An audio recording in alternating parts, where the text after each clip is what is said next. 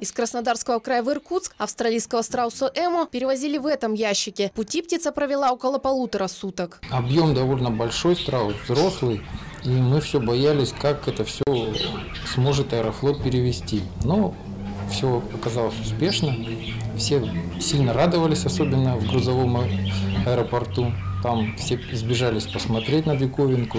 Первое время после переезда птица сильно волновалась, но благодаря тому, что страус не дикий, а привезен из фермерского хозяйства, гость быстро адаптировался. Эмочки, как ее назвали в зоопарке, один год. В хороших условиях эти птицы могут прожить до 70 лет. По отношению к людям Эма ведет себя агрессивно. Срабатывает животный инстинкт защиты своей территории. Надо это делать. Мы понимаем, твоя территория, да, да.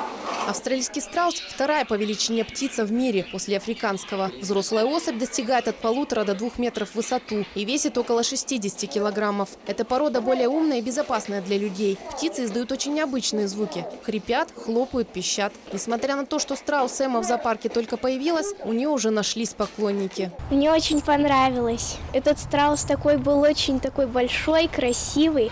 Все время к своим соседям стучался клювом. На самом деле страусы очень смелые птицы, а то, что они прячут от страха голову в песок, полная небылица. Зоолог Вадим Ивушкин знаком с этим видом не понаслышке. Предшественники австралийской породы в зоопарке были африканские страусы. Они не прижились. М уже более неприхотливы к условиям в неволе. Едят мало, в основном пьют воду. Питаются, как правило, зерновыми и травой.